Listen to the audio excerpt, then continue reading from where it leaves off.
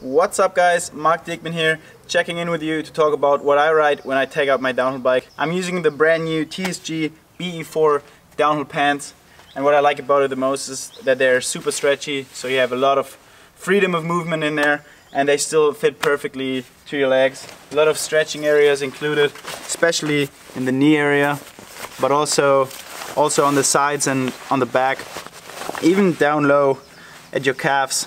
So yeah, super good fit, really neat and clean design, all black with the TSG logo on top.